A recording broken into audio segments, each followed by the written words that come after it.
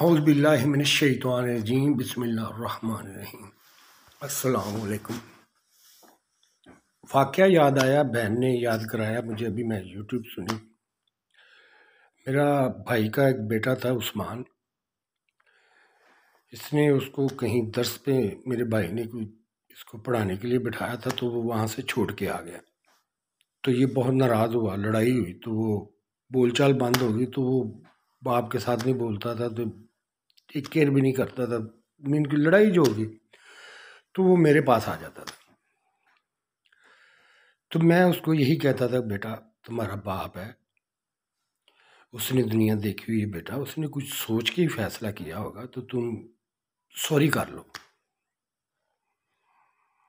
अच्छा चलो मैं कर लूँगा। अगले दिन आया, फिर पूछा, बेटा, सॉरी की थी? बहरहाल तकरीबन एक महीना वो मेरे पास आता रहा। मैं यही पूछता रहा उससे, बेटा, अपने पापा से सॉरी की तुमने?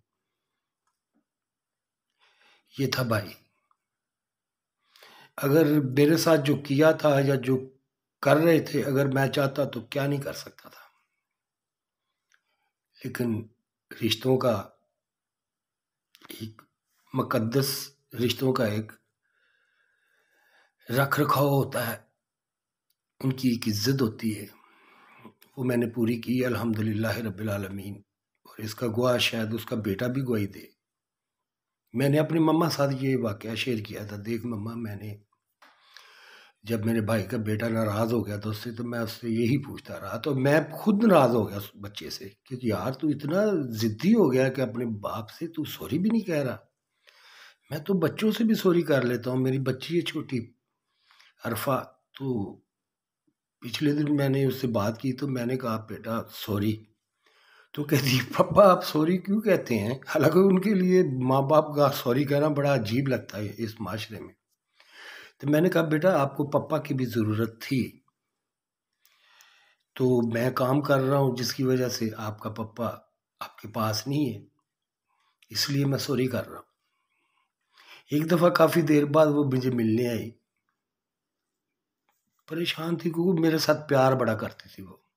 मेरे साथ ही रहती थी समझ ले मैं नहीं पाला उसे, छोटी बच्ची को। और ये बच्चियों को मैं नहीं पाला है। सिर्फ़ सारा जो थी उसको ज़रा थोड़ा टाइम मिला। वो भी ऐसी थी कि उसने जब चलना शुरू किया तो मैं छत पे खड़ा हुआ था।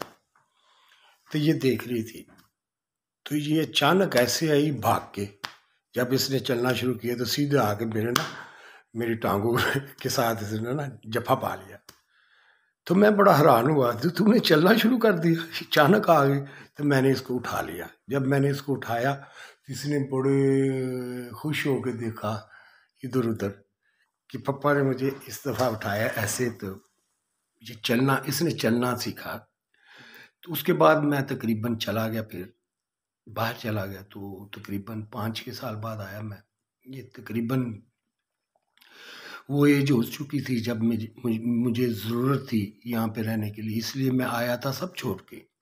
हालाँकि अच्छी जॉब थी मेरी, गाड़ी थी बीएमडब्ल्यू भी देता था मेरा बॉस मुझे चलाने के लिए। बेटों की तरह उसने मुझे समझा हुआ था। और दोस्त तो था ही मैं उसका, लेकिन वो मुझे बेटा ही समझते थे। और मिस्टर बिशी स्ट्रॉन्ग दी हुई थी। और तकरीबन लाख, सवा लाख मेरी तनख्वाह थी खाना पीना वहाँ पे था। कुछ पैसे इधर भी आ जाते थे, लेकिन जब मैंने देखा कि बच्चों को बाप की ज़रूरत है अभी, पीछे माशरा ऐसा नहीं है तो वो बड़ा सख्त फैसला था। मैं एक महीना सोचता रहा आने से पहले। क्योंकि कोई भी दिल से नहीं कह रहा था कि आ जाओ। सिर्फ़ मेरे वालद ने कहा था, बेटा, तुम आ जाओ। उसकी नेकी मुझे याद है। तो मैं ये कह रहा था कि अगर कोई ऐसे हालात ख़ानदान में बन जाएँ, भाइयों भाइयों में तो एक दूसरे का बाजू बनना चाहिए। ये नहीं कि उसकी मजबूरी से फ़ायदा उठाना चाहिए या बदला लेना चाहिए। आप अपना फ़ैसला अल्लाह पे छोड़ दें और उसको अच्छा बन के दिखाएँ, शायद वो बदल जाएँ। यही तरीका होता है। और मेरा भाई इतना बुरा नहीं था, लेकिन इसको बस ऐसे उलझाया गया कि इसकी समझ में नहीं आया। हाँ बुरा नहीं था वो। लेकिन अब वो फांसी ऐसा चुका है कि वो, उसके अलावा अब उसको चारा ही नहीं, इतने काम वो कर चुका है और इसको फंसाया गया है। स्पेशल मीन के यही था कि मीन के जेलसी मीन के ये ऐसे होता था, तेरा भरा यार, वो तो वो है। तो इसको थोड़ा ना मीन के एहसास कमतरी का शिकार करा के तो इसको मेरे सामने खड़ा करने की कोशिश की।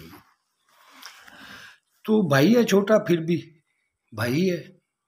क्या कहूँ, गुस्से से तो बड़ी बातें कह देता है बंदा तो लेकिन अगले दिन मैं फिर ठंडा हो जाता हूँ।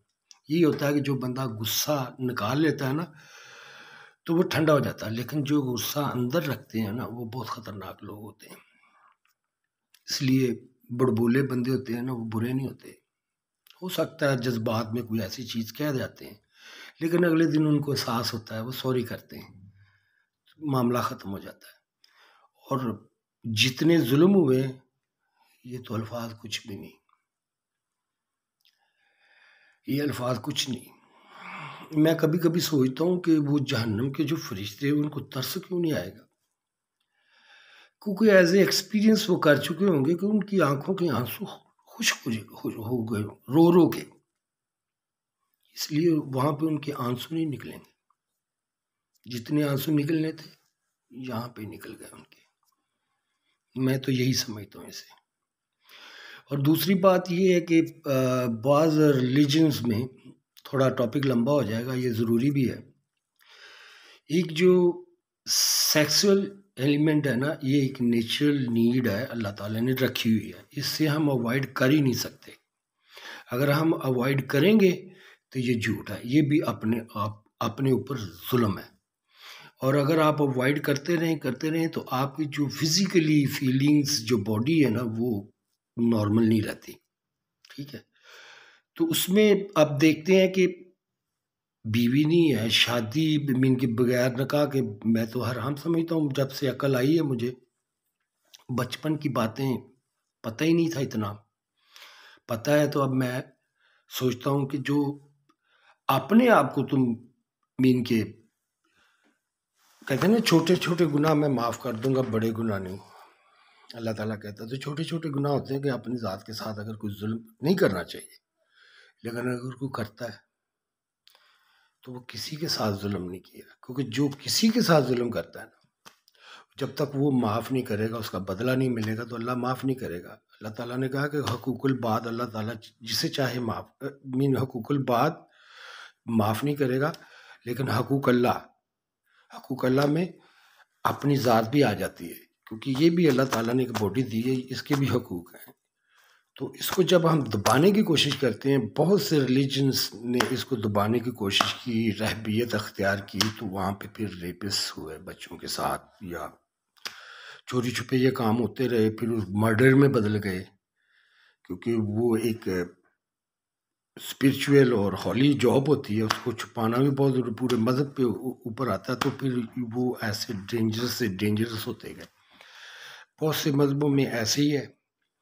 बहुत से मज़हबों ने बताने में गौर नहीं किया, सिर्फ़ वर्डिंग को पढ़ा है तो उसको आगे भेजा है। आज मैं सुन रहा था एक जेवी, उसके जो एलिमेंट हैं, वो कहते तो वो भी ठीक है, उसमें कोई शक नहीं है, लेकिन कहने का तरीका है ओल्ड है। आप थोड़ा साइंस को मिक्स करें। देखिए कि जब इंसान अल्लाह को नहीं मानता खुदा को नहीं मानते, मीन मीन के अपना ख्याल ही नहीं खुद रखते या इन्वायरमेंट का ख्याल नहीं रखते शेयरिंग की बजाय छीटा छपटी है तो फिर ज़ाहिर है आप देखें क्लाइमेट चेंज क्या हो चुका है। तो ये तो खुद हम खुद तबाह कर रहे हैं, खुदा क्यों तबाह करेगा आपको? खुदा क्यों सजा देगा? ये तो आपके ऊपर रख दिया अल्लाह ताला ने। ये ले बादशाह, मैंने तुम लोगों को दे दी है, अब संभालो। दुख में रहो सुख में रहो तुम तुम लोगों के ऊपर है। तो ये चीज़ें एक्सप्लेन करने में ना थोड़ी मीन के मिसअंडरस्टूड होती हैं। और आ, कुछ स्पिरिचुअल लोग होते हैं वो कंट्रोल करते हैं अपने सेक्सुअल रिलेशन को लेकिन वो रख नहीं पाते बाज दफ़ा और अगर रख भी जाते हैं तो वो बहुत ज़्यादा मीन सख्त और हार्ड और स्टोन हो जाते हैं। हो जाता है, ये भी, मेरे साथ भी हुआ है। हो जाते हैं तो फिर वो भी चाहते हैं कि ऐसा ही कोई दूसरा हो। तो ऐसा आप जैसा दूसरा तो कोई और हो ही नहीं सकता। तो ये चीज़ें होती हैं। देखिए, इंसान अपनी गलतियों से सीखता है। अगर बजाय कि आप किसी के साथ जुल्म करें और आपको अंदेशा हो कि आपके ऊपर ये सेक्सुअल अटैक्स हो रहे हैं, माशरे में तो उससे बेहतर है आप अपने आप को खुद ही ठंडा रखें, ताकि वो ख्याल अगर कोई अटैक होता भी है तो आप उससे बच जाएँ। अगर for example two month three month आपने कंट्रोल किया हुआ है, अगर ऐसा कोई अटैम्प्ट होता है, बड़ा मुश्किल है बचना। ये फिज़िकली मैं बता रहा हूँ आप लोगों ये मेरे प्रैक्टिकल एक्सपीरियंस जो मैं कर रहा हूँ, उसको बोल रहा हूँ मैं। कुछ लोग इसको बुराई समझेंगे, शर्म वाली बात है, लेकिन मैं इसको शर्म नहीं समझता क्योंकि ये एक नॉलेज है जो हर एक तक पहुँचना चाहिए। और ख़ासकर हमारे माशरे में और दुनिया में ये जो सेक्सुअल मिसअंडरस्टैंडिंग विद पेयर है ना, इसने बड़ा काम ख़राब किया बड़ा फर्स्ट्रेटेड किया है जोड़ों को फैमिलीज़ को। वो फुल फील नहीं होती। इसकी एजुकेशन थी होनी चाहिए इसकी एजुकेशन। उनको बताना चाहिए कि ये सारे मीन के टाइमिंग जो है वो सिर्फ़ गोलियों से नहीं होती, ठीक है? वो कंट्रोलिंग से भी होती है, वो उसमें आप एक दूसरे के साथी हैं। अगर कोई मीन के, अगर टाइमिंग का कोई फ़र्क आ भी गया है तो उसको इग्नोर करें और उसको और ज़्यादा प्यार करें ताकि वो आपके साथ और ज़्यादा इंजॉय क्यों नहीं करते आप एक दूसरे के साथ? शर्म के साथ आप मीन के ऐसे है जैसे नहीं होता कि, कि मजबूरन ये एक चीज़ रख दी है इसको पूरा ही करना है हमने।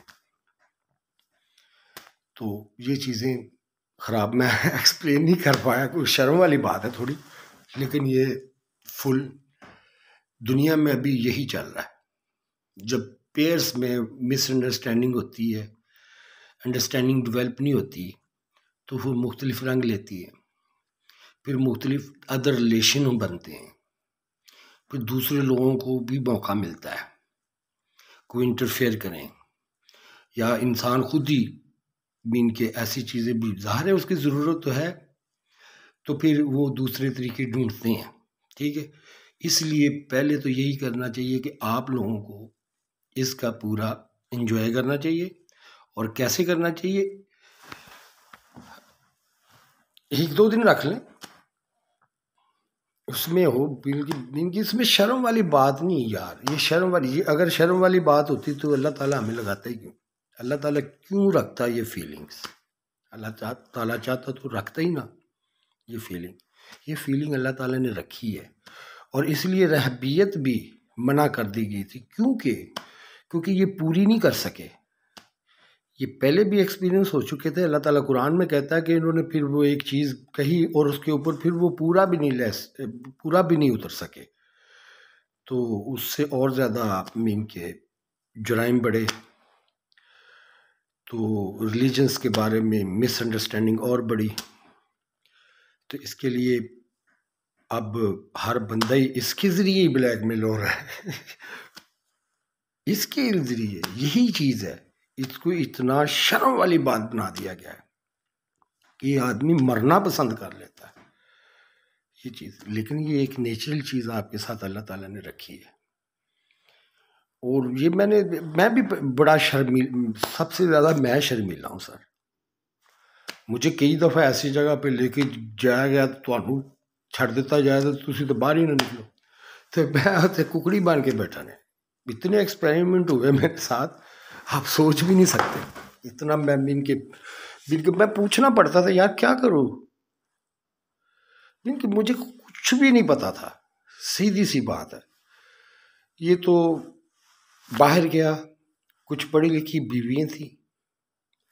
उन्होंने सिखाया, लैंग्वेज सिखाई, बोलना सिखाया और बहादरी भी सिखाई। चाइनीज़ ने तो मुझे बहादरी सिखाई, उसने तो मुझे वो खड़ी हो जाती थी, कहती थी, तू मेरा बंदा है, तेरे ऊपर कोई निगाह डाले तो क्यों डाले? और यहाँ पे मैंने देखा कि औरत कहती नो प्रॉब्लम जब मैंने बात की शुरू शुरू में तो मुझे शर्म आती थी, यार, ये क्या है? लेकिन वो एवरीबॉडी वॉज़ हैप्पी तो ये नहीं होना चाहिए। एक मजबूरन मैंने अपने आप को सेल किया था ये। सीधी सी बात है, हालात थे तो मैंने कहा कि और क्या है ये सेलिंग है और क्या है? उसमें ये था कि जी, मोहब्बत है, इनकी ज़िंदगी बन जाएगी, बाहर चले जाएँगे। यहाँ पे मीन की मिसअंडरस्टैंडिंग बहुत थी। बहुत वाइड बहुत मीन के ज़्यादा डिवाइडेशन हो चुकी थी। तो मैंने यही सोचा कि बाहर है, इनको ले जाता हूँ। चलो कम अज़ कम इनको नेशनैलिटी मिल जाएगी बाहर की। अगर इनको कोई प्रॉब्लम हुआ, कोई डेंजरस हुआ तो कम अज़ कम ये अब महफूज हो जाएँगे। मेरे दिन में यही था। अब भी मुझे कहते हैं कि आप आ जाओ तो मैं कहता हूँ, मैंने तो अपने बेटियों के लिए किया था। अब मुझे मैंने कहाँ जाना है? अब मैं कभी कभी सोचता हूँ, सारे कहते हैं, ये काम नहीं करता।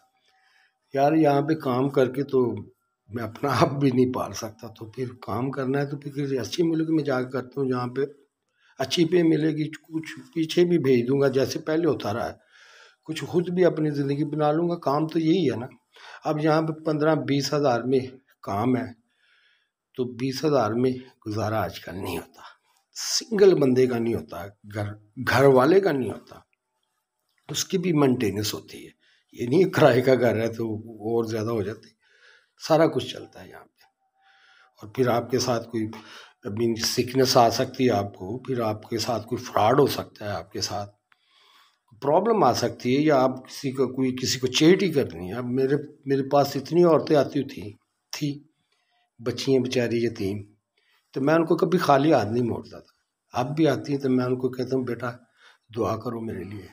जब भी आएँगे मैं इंशाल्लाह ज़रूर दूँगा, आना ज़रूर। मैं इंशाल्लाह दूँगा तुम्हें। जब मेरे पास होते, मेरे पास भी अगर बीस भी है ना, तीस भी है ना तो मैंने अपने पास नहीं रखे, मैंने दे दिए ये होता है कि जो हो, दे दे। अल्लाह के ऊपर भरोसा करके। वही मैंने किया है, वही मैं कर रहा हूँ। ये दुकान है, बिक जाएगी मेरी तो मेरे मसले सॉल्व हो जाएँगे। माँ थोड़ी परेशान होती बेटा, बुढ़ापा, मैंने कहा, मम्मा, हम यहाँ पे रहने नहीं आए। तंगी अगर आ गई है तो इससे बेहतर ये है कि अपनी इज़्ज़त ज़ाया करने के बजाय आप, मैं तो पहले का ही यही कह रहा था कि ये ऐसे करना चाहिए हमें, किसी से पैसा नहीं मांगना चाहिए। तो शुरू से ही, मैंने प्रॉपर्टी मैंने यही कहा था कि हमने ये सुना था कि ये प्रॉपर्टी बनाई है बुरे वेले में काम आएगी तो मैंने कहा वो बुरा वेला कब आएगा? वो तो आया हुआ है तो फिर भी हम सोच रहे हैं भी बुढ़ापे में क्या बनेगा? अल्लाह ताला इज़्ज़त दे, बाकी सब ठीक है। माँ थोड़ी सी रोती है दुख करती है मेरा तो मैं उसको कहती हूँ, मम्मा, दुख ना किया करो, मुझे रोया ना करो। खुश हो तो कि तुझे अल्लाह ताला ने एक ऐसा बेटा दिया है जो डरता नहीं है, जो बिकता नहीं है। तो इन ताला मैं तुम सब लोगों को बाहर लेके जाऊँगा। आप मेरा साथ दें। तब्दीली आई है इन और आएगी। क्योंकि अब कोई बीच में नहीं है हमारे। मैं जाता हूँ तो मेरी माँ होती है। अगर हम बोलते भी हैं ना, वो मैं कहती है कि बस ये बातें जो तू करता है ना, ये छोड़ दे। तो ये मैं कैसे छोड़ दूँ? ये तो मैं अपनी ज़िम्मेदारी से, वो डरते हैं। बड़ी प्रॉब्लम आ चुकी हैं उनके ऊपर। तो फिर ज़ाहिर है, फैमिलीज़ होती हैं। लेकिन फैमिलीज़ कोई अकेली नहीं होती। पूरी दुनिया ही फैमिली है हमारी। अगर आज हम इज़्ज़त के डर से या मौत के डर से बोलना छोड़ दे तो दुनिया का क्या बनेगा? मैं हमेशा यही कहता हूँ कि जब फरिश्ते आए अजाब करने के लिए तो इब्राहिम ने कहा कि कहाँ जा रहे हैं? उन्होंने कहा, हम तो एक बस्ती के ऊपर ना अजाब करने जा रहे हैं। तो कहा, वहाँ तो एक नेक बंदा रहता है। बड़ा फरिश्ते ने कहा, नेक बंदा रहता है? अल्लाह ताला ने कहा, उस नेक बंदे को ना उठा के उसके ऊपर बस्ती मारो। क्योंकि वो अपना ही पूछे पूछे में लगा हुआ है, अपनी इबादत में लगा हुआ है। जब कानून की, मेरी नेचर की, मेरे कानून की धज्जियाँ उड़ाई जा रही थी, मजलूमों को सताया जा रहा था, इसकी गैरत ने कभी गौरा नहीं किया, इसने कभी ज़ुबान नहीं खोली। ज़ुबान तो खोलना हमारा बनता है यार। अल्लाह ताकत दे तो फिर हाथ से भी रोक सकते हैं, लेकिन फ़िलहाल हम ज़ुबान तो चला सकते हैं, सच तो बोल सकते हैं। किसी के लिए आवाज़ तो उठा सकते हैं? यही नेकी है। और क्या, जीना तो ऐसे ही है। यही रात थी, यही था, आज मैंने किसी के लिए किया कल की, अपने लिए करता तो कितना फ़र्क है। ये एक बहुत बड़ा आपके ऊपर एक, इनके स्पिरिट बन जाता है, एक पावर बन जाती है कि आप जब सोचते हैं कि ये तो जो भी आप कर रहे हैं स्ट्रगल कर रहे हैं, ये आप लोगों के लिए कर रहे हैं, किसी के लिए कर रहे हैं।